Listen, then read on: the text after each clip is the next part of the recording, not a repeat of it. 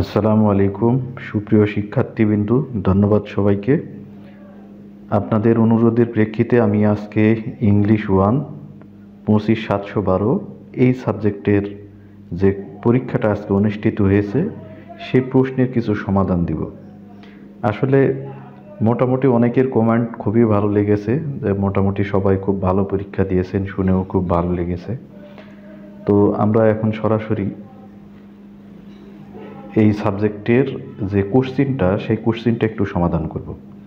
তো প্রথমে এখানে যেগুলো এই প্যাসেজ থেকে কোশ্চিন এসেছে, খুব সহজ আপনারাও খুব ভালোভাবে দিয়েছেন, আমি জানি।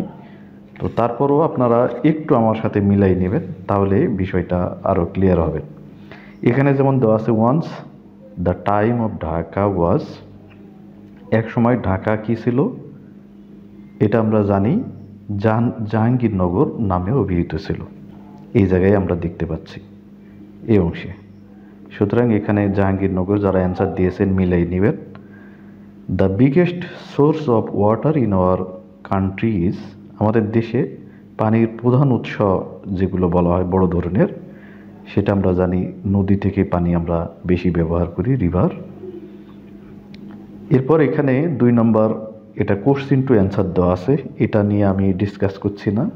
আপনারা এটা এমনিতেই বুঝবেন। আমি এখন মূলত দেখানোর চেষ্টা করব, এরপরে তিন নম্বর যে প্রশ্নটা, এটা একটু মিলিয়ে নেবেন। তিন নম্বরে যেটা রয়েছে fill in the gap of the following sentence with the right form of verb given in the brackets তো এইখানে এই যে শব্দটা দেওয়া রয়েছে, এই শব্দটার ব্যবহার আমরা করব। Once the Buriganga had a glorious water is polluted এটা ইনডাইরেক্ট ফর্মে আছে ইন ম্যানি ওয়েস তাহলে এটা হবে গ্লোরিয়াস খেয়াল করবেন গ্লোরিয়াস বানানো দেওয়া আছে, একটু বানান দেখে নেবেন। তারপর এখানে পলুটেড ইডি যোগ করবেন। পলুটেড আর চার নম্বর যেটা প্রশ্ন এখানে দেওয়া রয়েছে, টেবিল। এই টেবিল জাস্ট ম্যাচিং করা তিনটা অংশ আছে। এই তিনটা অংশ থেকে আমরা ম্যাচিং করব। প্রথমে এখানে আছে rivers are everywhere of our economy খেয়াল করবেন। এটা এ এটা এ তারপর দ্য বুড়িগঙ্গা বুড়িগঙ্গার সাথে আমরা ম্যাচিং করব। হ্যাড বি এটা বি এ গ্লোরিয়াস পাস্ট আমরা প্যাসেজের সাথে কম্পেয়ার করলে এটা দেখতে পাবো। সি নম্বর রয়েছে the old name of Dhaka এই সি থেকে আমরা দেখতে পাচ্ছি ওয়াজ জাহাঙ্গীরনগর। ডি বাকিটা যেটা রয়েছে সেটা আমরা দেখতে পাচ্ছি। Now the Dhaka city is a populated country D তো এইভাবে এখান থেকে আমরা এই টেবিলটা আমরা ম্যাচিং করে ফেলব। একটু মিলে নেবেন আমার সাথে। এরপর পাঁচ নাম্বার যে প্রশ্নটা এখানে রয়েছে এটি মূলত আপনারা জানেন শর্ট নোটের মতো। ছোট সেন্টেন্সে এটা পূর্ণ করতে হতো। যাক, এটা আপনারা এমনি দেখবেন। তা আমার মূলত এই ছয় থেকে এদিকে ব্যাখ্যা করা। ছয়টা বিউটি এটা নাউন তারপর হ্যাপি আনন্দ, খুশি যেগুলো, সেটা অ্যাডজেক্টিভ তারপরে হ্যাপেন এটা হচ্ছে ভার্ব এরপর এখানে সাত নম্বর যে প্রশ্নটা রয়েছে জাস্ট এখানে কিছু ওয়ার্ড দেওয়া রয়েছে, আমরা দেখতে পাচ্ছি পাঁচটা ওয়ার্ড আর শূন্যস্থান দেওয়া রয়েছে তিনটা। সুতরাং এখান থেকে ওয়ার্ডগুলো আমাদের সিলেক্ট করতে হবে। তো এটি খুব গুরুত্বপূর্ণ এবং অনেকটা গ্রামার গ্রামাটিক্যালের মতোই অংশ। একটু খেয়াল করতে হবে। তো in the sea boys and old sailor did not have any drinking water and এখানে সাপার, এ লট। মানে মূলত এখানে সাপোর্ট ইডি যোগ করলে এটার অর্থটা শুদ্ধ হয়ে যায়।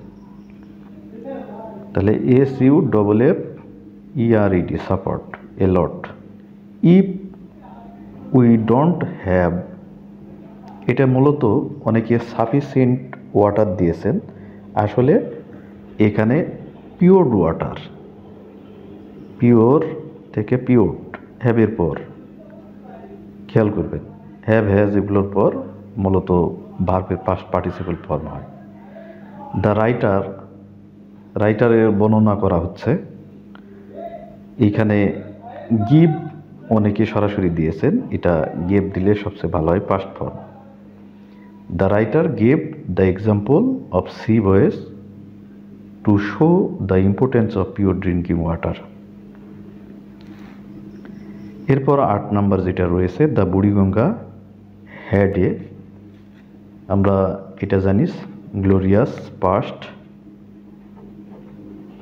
glorious.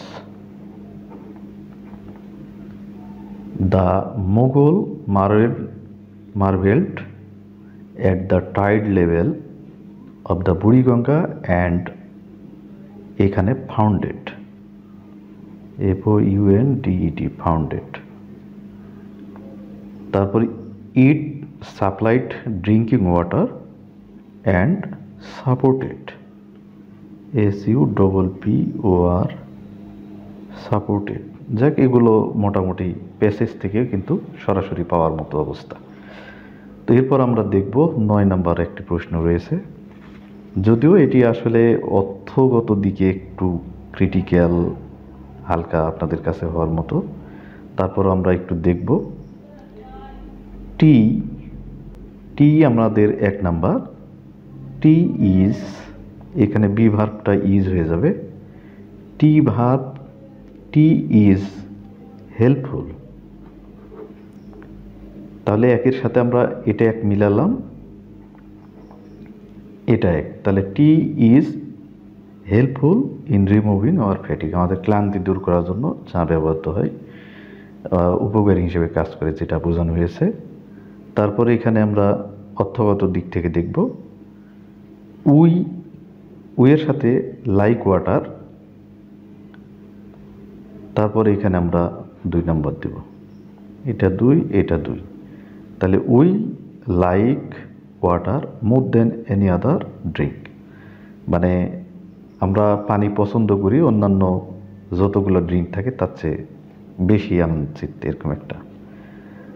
তারপর এখানে বাকিটা বুঝতে পারছেন দেয়ার এখানে তিন number there are helped hardly any one who does not enjoy tea এটা তিন নাম্বার হিসেবে। তো এই এখানে নয় নাম্বার প্যাসেজের কারেকশন, আর দশ নম্বরে যেটা এখানে আপনারা দেখতে পাচ্ছেন এটাও মোটামুটি খুব সহজ, কঠিন কিছু নাই। Air is very important element of our environment খেয়াল করবেন but this air is polluted by smoke ধোঁয়া দ্বারা এটা পলিউটেড বা দূষিত হয়ে যাচ্ছে। এটা আমরা B number Dev. That were produced directly or undirectly we produce বা produce a huge amount of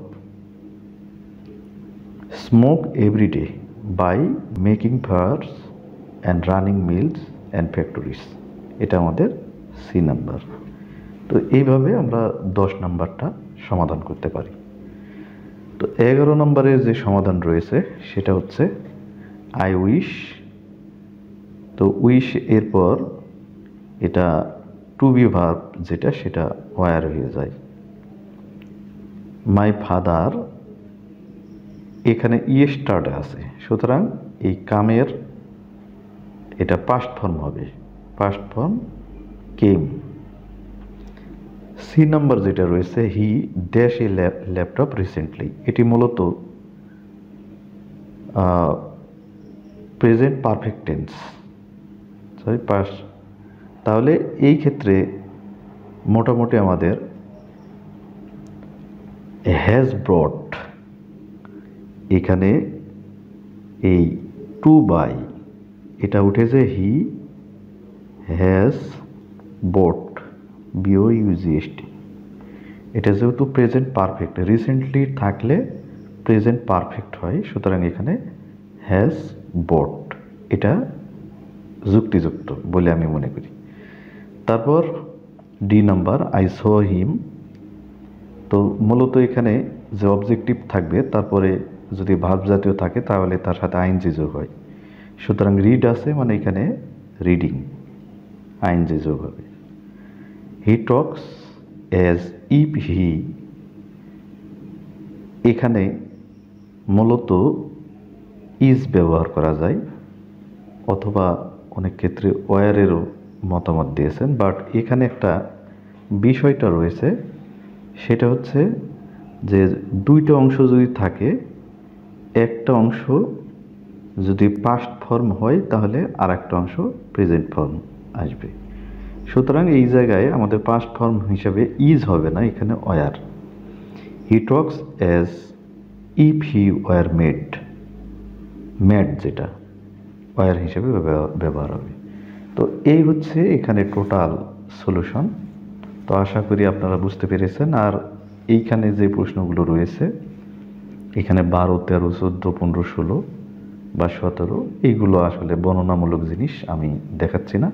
তো আশা করি আপনারা আপনাদের প্রশ্নের সাথে সবগুলো মিলিয়ে নিয়েছেন অলরেডি তো আমারও আসলে হয়তো ভুলভ্রান্তি হতে পারে, ভুলের উদ্যোগ কেউ নয় যদি আপনাদের কোনো কনফিউশন থাকে, তো পলাইটলিভাবেই আপনারা কমেন্ট করার চেষ্টা করবেন।